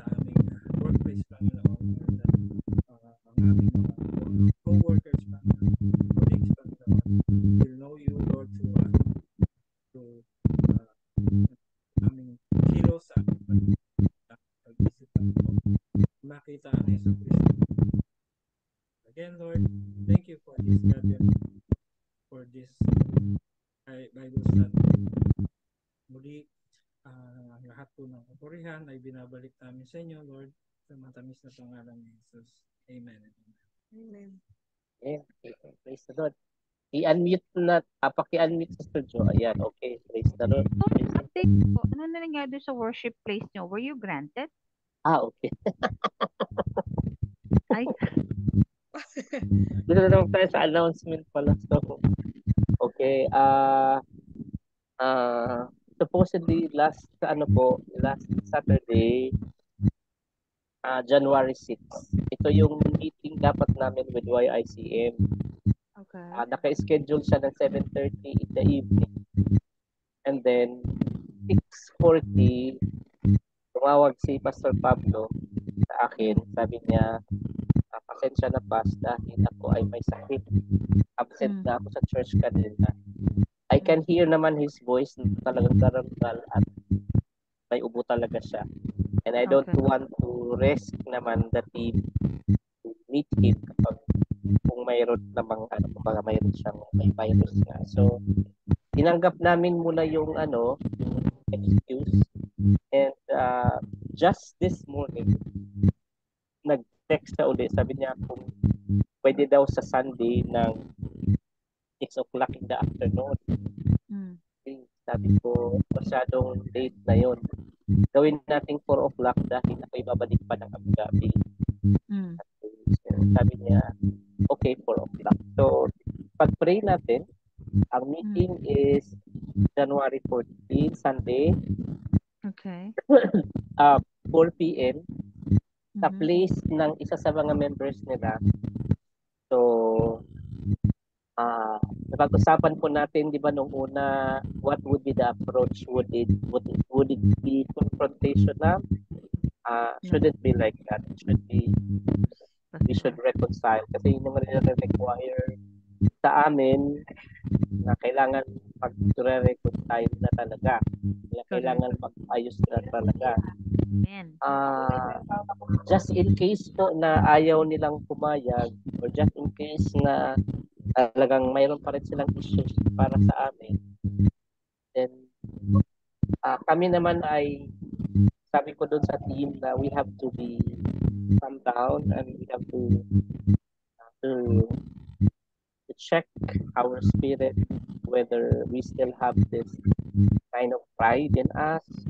Mm. actually ang daming kung tutuusin talaga ang dami dami dami daming issues na dapat ipupul kasi Mm. kagaya na lang nung nangyari sa amin noong December 24 December 24 po ay nag-attend ako ng ng ah, birthday celebration ng isang member nila actually kumari ko yon at ah, sila yung binabible study ko ng 8 years sa Tawam and then I was ordered na bitawan ko nung sa inumpisahan ko ang pagsiservice ng ATM Mm. And then they are so kind uh, they are so kind enough to invite me. And then it was actually the 50th year at uh, birthday. So nag-attend ako. Mm. Ah, ako lang muna una and then yung other three the member ng church dumating sila mga 7.30 in the evening. So they didn't witness what happened. Okay. ang nangyari po ay I was led to buy a bouquet pero ano sa JCM nakalagay nakalagay doon JCM ano, ang card Mhm.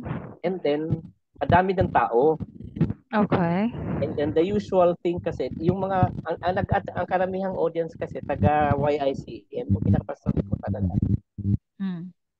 So, the usual thing na kilala naman kasi nila ako. So, nandun sila. Nung dumating ako, yung, yung ano ba, yung tuwang-tuwa, na, ah, ganyan. ganyan." And then, nagpa-picture sila, lahat. Nagpa-picture, isa-isa. Sabi ko naman, ayaw kong, ayaw kong magkaroon ng parang commotion. So, Mm. I seated doon sa last, talagang pinaka-last. Okay. last seat talaga. And then, itong MC kasi, ang taga- ang MC kasi, bina-Bible study ko din, taga-tawag. Okay. So, um, talagang, talagang sinabi na, okay, magba-blocking tayo ng program. And then, my name was called. Sabi niya, Pastor, ikaw yung magbigay ng bouquet Mm. kay ano, kay, ganun, kay sister. Kasi ano, anyway, ikaw ba na may dala ng bouquet? So, ikaw yung magbibigay. Pagkapasok niya, surprise natin siya na ikaw yung magdadala ng bouquet. Okay. So, bina-blocking namin yun. Nasa harap kami, tapos in the presence of... Pero, Mm. few of them knew na ako yung may dala ng bouquet. Mm. Ang sabi ni Pastor Pablo, ina, ina, parang ang, ang tono talaga ay hindi naman maganda talaga.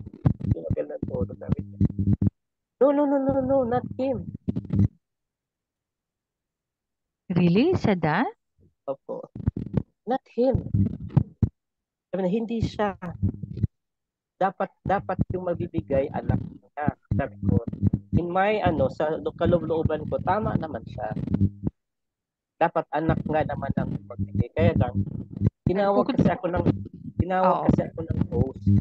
Correct. Tapos, inabihan din naman ako nung, ano, oo nga, Pastor, kasi ikaw naman may dala ng bouquet. Exactly. So, actually, naka, naka, na, yung, yung reaction mo na nagpipigil ka sa sarili mo, na nakatalikod ka lang, and then nakasteady ka lang talaga, na naghintay ka lang ng another move. Sabi ko, sabi ko doon sa host, yeah, okay, I will give na lang the bouquet to the son na inaanak ko din. Yung, yung dalawang anak, inaanak ko yun sa, sa, sa dedication. I will give and I will wait for them. Matagal man dumating yung mga bata, kaya bumalik muna ako doon sa pinakalikod. Dala-dala ko yung bouquet. Kaya nakikita ko yung mga tao doon sa harap, nagbulong-bulong yan. So, ayoko nang mag-cause pa ng another, ano, another chaos.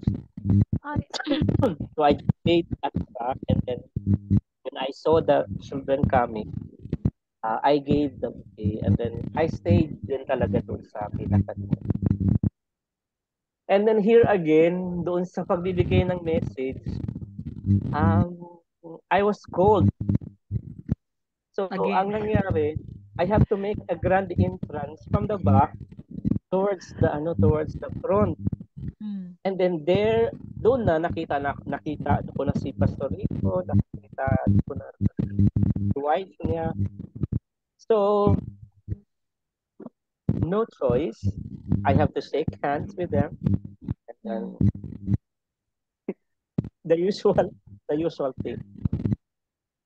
So I did give a message and then after that, bumalik din ako sa upuan. Kaya lang, we can sense the tension talaga at December 20.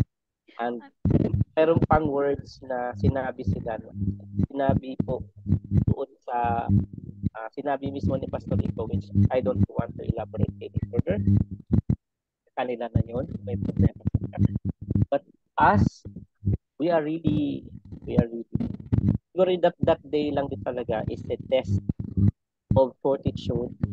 It's a Yes. test of patience whether you are going to salvage uh, Eh, what the thing.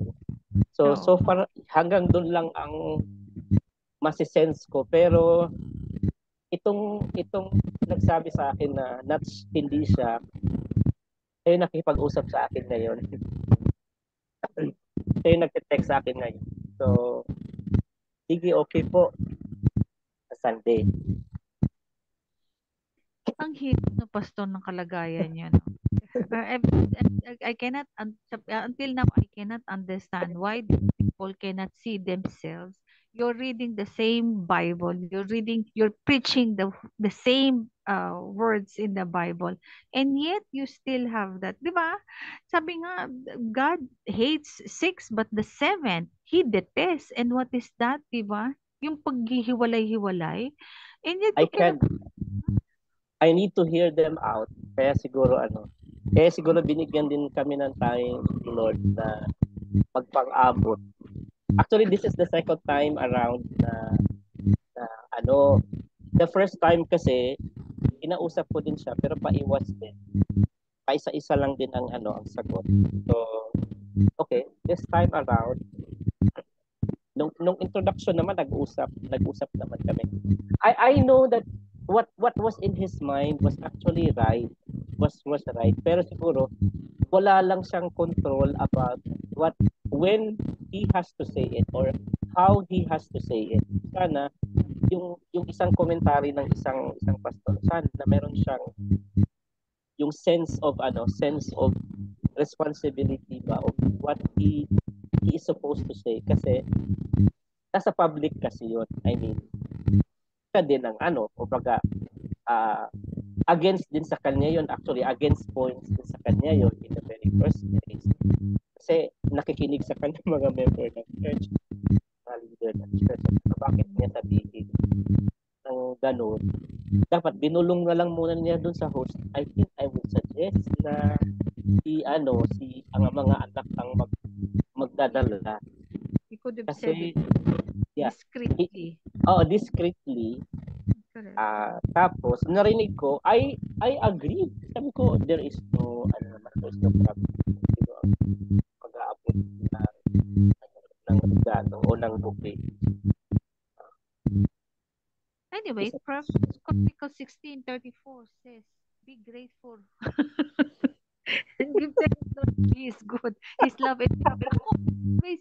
Ako, I as I said before, Pastor, I see this as a as a way of the Lord to for you to reconcile, diba? And one of the hardest thing is that I I can see how yung effort nyo to, diba? Sabi ko, it takes hu- humility knowing na you did not do anything wrong and yet you humbled yourself na sabi mo you them kasi um, their interpretation uh, about about my my action talaga to favor Pastor Greg and Sister Au, for them, in their eyes, it was a wrong decision from my side. Kasi nga, uh, they accuse Sister Au of yun nga, yung investment scheme na iyon, which is not actually her fault uh, if they understand it. Uh, in-explain naman. Kaya lang, somebody must have been poisoning their mind uh, about it na dapat i-blame nila talaga si ano si Sister Au about dun sa investment and pag umabot nga sila doon sa ano yung pagkaso pinasuhan nila si Sister Au dito sa ano sa court ng LA tapos ang sinabi doon sa court nung nag-ruling na ano do you have the evidence that you invested money to kay ano kay ganito nga kay Sister Au sabi niya wala. Kasi in the very first place invest sila hindi kay Sister Au doon sa agent. Ang check ang nag-issue ng cheque yung agent mismo sa pangalan sa kanya ang cheque kaya lang ang kanilang accusation kasi since si Sister Au kasi daw ang nag nag-introduce nung babae na iyon doon sa ano doon sa ganoong ay siya ngayon ang nabiblame. Wherein in fact, ang nangyari is that sila na nga mismo ang dumidiretso dun sa babae without her knowledge. So, nasa ano na lang talaga, nasa puso talaga yung yung greediness ba about earning earning money uh, in a in a fast mode or parang parang it's easy uh, parang it's it's good to be through a system Di ba sabi nga sa Church of Corinth, you are bringing cases against each other. O di ba, Pastor? Alam mo, nangyari din sa amin yan eh. No, Badet, you remember yung nag-pitch in tayo na si anak ni Sister Maggie yung ano, nag-introduce Mm. niya. Di ba? Tapos, hindi hindi nag-materialize. But we never Mm. said anything, Pastor. Kumbaga saan, we take it, uh, we take it, after that, nung sumunod na, ay, ayaw na, ayaw na. Ah, Mm-mm. Di ba? Uh, it's a lesson learned. Minsan kasi, uh, sometimes the trust is there. Eh. Siguro kapag ka-churchmate mo and somebody introduces you, parang mang hello, yes, this is good. Kasi, Oo. ano, di ba? Pero, one thing we've learned is when it comes to money, nothing, ano eh, kumbaga sa ano, ang, ang, ang reason kasi namin nun, ay yes, makakakubra kami, di ba?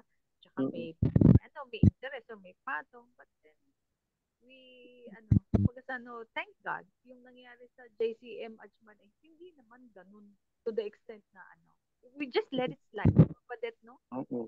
Friends pa rin kami all together and nothing, nothing, Yeah. ano. So, well, I see it as a, ano, Pastor, it is on your way to, siguro, ano nito, hindi reconciliation, but clearing the air. Kumbaga sa ano, Mm-mm. it is time for you to speak your mind also. Actually, dal- dalawa lang naman ang itatanong namin sa kanila. eh. First is that why they changed the name. Second, and then they took the 95% of the membership. And then second is that why they didn't disclose their history when they applied for the place of worship in Canada. Because uh, this time around, actually, if if the members of the church right now knew yung hindi nila pag-disclose ng, ng history nila, it would be a big question. A very question.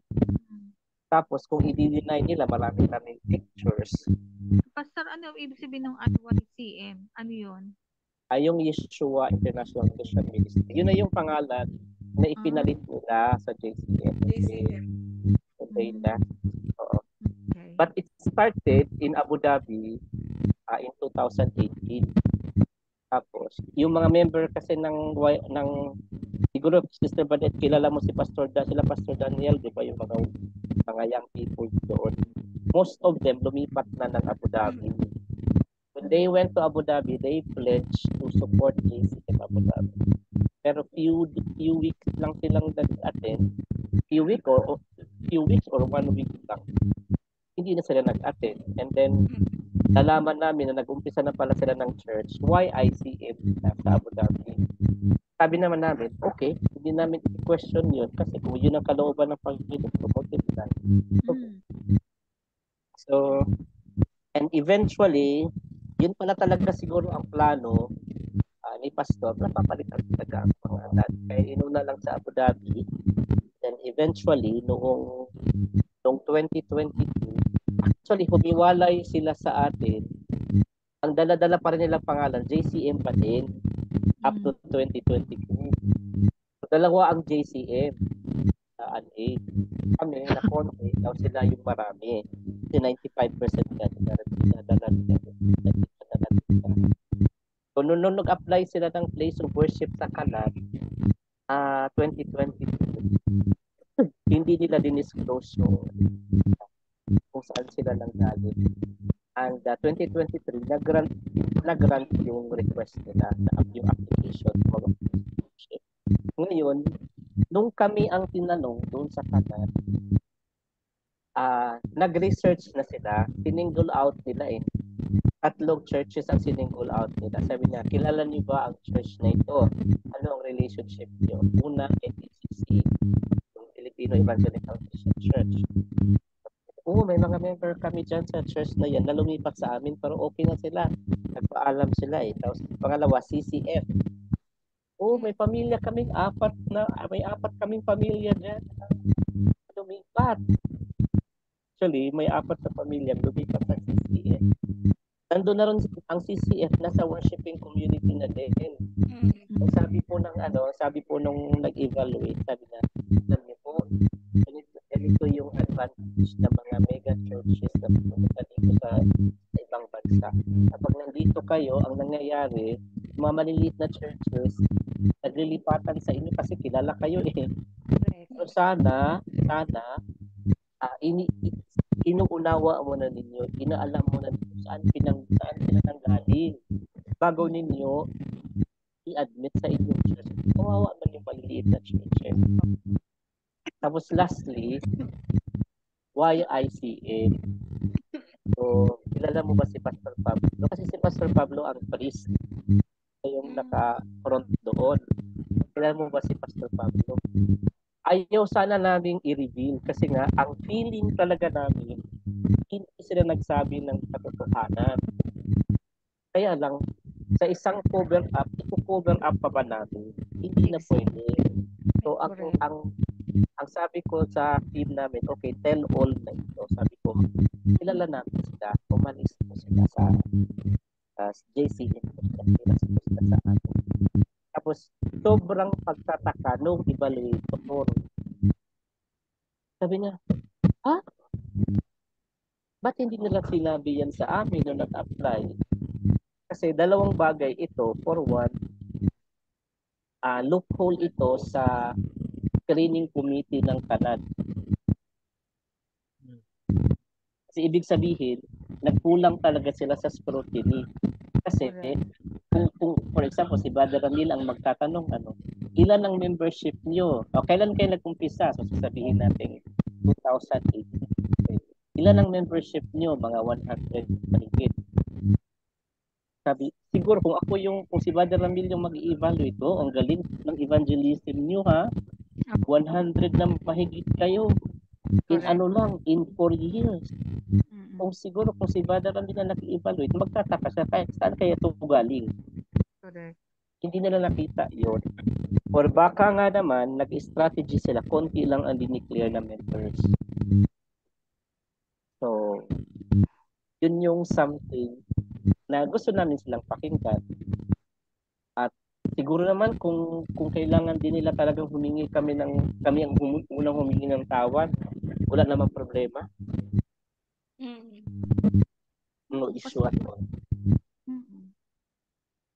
Kaya yun na nga ano eh, yun ang masakit ng yun ang yun ang pinakamahirap sa pagiging y- yung humility, when you practice humility, na kahit hindi mo kasalanan, kahit wala kang ginawang mali, still you have to ano, humble yourself. Mm. Yun yung pinaka and I can sense yung ano, yung ansakit, 'di ba, sa inyo na magkakasama kayo for the longest time and you parted it. Kasi nangyari na rin sa amin yan, di ba, Badet? Yes. kumbaga sa ano, it's nothing new, pero to the extent na pag nagkita, pag mag magkita, Yeah. di ba, kailangan mag, magbigay ka naman ng respeto. Yun lang naman ang sa amin. Di ba? Kaya nung natatandaan ko nung saan tayo Badet McDonald's, yung birthday ng anak ni Sister Maggie, Wow. side other side. Mm. Sabi nga ni ano, game, game. O pagpasok, hello, hi, how are you? Kumbaga, di ba? Yung, yung, that is one of the traits of being a Christian, di ba, pastor? You have to bury the hatchet. Kumbaga sa ano, tanim mo na sa limot yan. Kaya lang, I, I can understand your position. Pero, at ako, ang masasabi ko lang, when they were asked you the question, being a Christian, you have to tell the truth. And Mm-mm. the only truth. Kumbaga Actually, nung nung kami, ah, nung ako pala ay hesitant talaga ako mag ah, mag-disclose kasi I am afraid I am afraid na ito yung magiging ground for their application to be recalled. it's not your own own doing, pastor. Yeah, it's it's no longer but I was ano, I have that kind of parang false fear ba na paano kaya Mm. kung ito yung maging ground pumapasok pastor yung genealogy. Hindi niya na dinisclose yung genealogy. Kaya hindi nga dinisclose ang dinjarat from bihira. Oo, di ba? Sa doon pala nag-aral sila ng chronicle. Kaya ang sabi ko doon sa pastor na pastor, wag niyo pong wag niyo po ito sanang ano gamitin as ground for for the uh, parang revocation of their uh, application here in Canada because we have brethren here. Sabi niya, iko, itatanong daw niya kasi kailangan talaga din ng explanation. Correct. Kailangan niya, ewan ko ba, sabi ko ang ganyan. Di ba, pa, di ba no, Brother Ramit, we are all reading the the same Bible. We are, we're hearing the same teaching, yet these things happening, di ba? So they are good. You know, they, they have, I mean, th- their team right now, they are really, really very good. If you watch their live, live broadcast, ang gagaling ng ano, ang galing ng multimedia, nandun sa kanila lahat eh. Praise and worship team, yung nag-preach, Ilan yung ilan yung members nila, pastor? You can easily Mga de- mga man, man, 100 mahigit. Oh, you, that's what, Pastor, you can easily delegate all those things, di ba? Eh kung sa JCM Adjuman, ilan? Pito, anim? Uh, uh, si, si Ramil na yung yung all around. Kumbaga sa ano, sometimes, the, the, sabi nga nila, it's not the quantity, but the quality, but still, quantity dictates that you can, sabi nga, di ba, si yung father-in-law ni Moses, he has to delegate 70 Hmm. people. So Yeah. there is proper delegation kapag marami. So ako ano, ako I I see I, right from the very start I see this is a way for you to kumbaga sa ano, let the steam out. Kailangan malaman. It has to. Magkausap kayo. If the if the By the way, ang ang conversation na ito ay naka-record. We are, I am uploading this by the way on YouTube. No problem, pastor.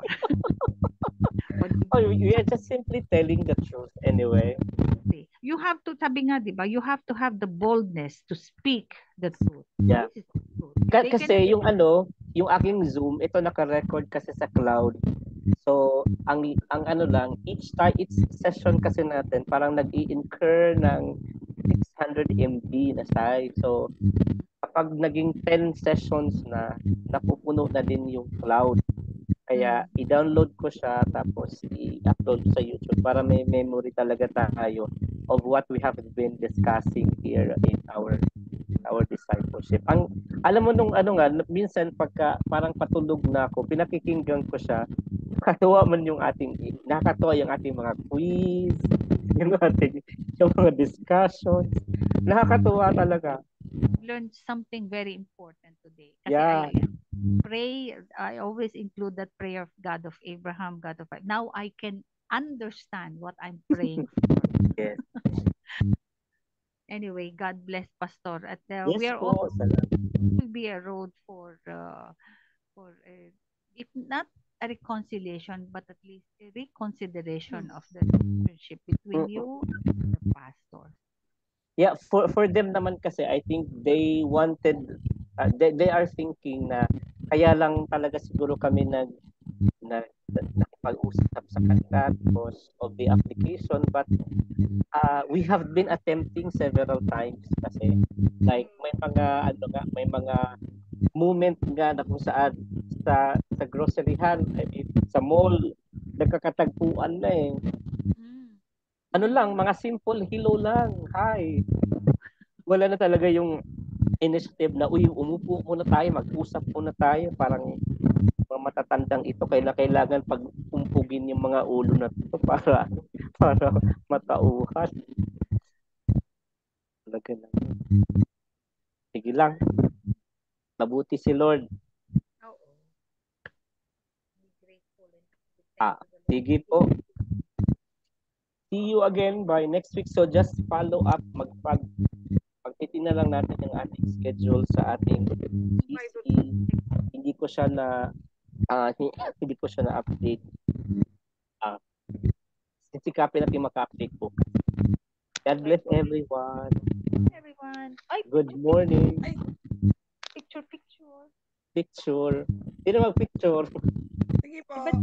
If, Sige, i-step share ko muna. Ayun. Oh. Ay, teka lang po.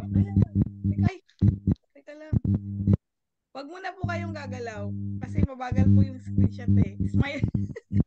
Smile po. Smile, Pastor. Smile. You're on Wait, isa pa ate. Malay mo, ang akin palang genealogy is si Bathsheba. Yes. Yun, yes.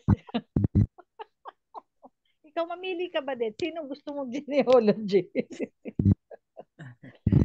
Si Ruth na lang, si Ruth. si Ruth ba? Si Esther, pwede rin. Ah. Okay po. Good morning, everybody. Good morning. Good morning po. Bye.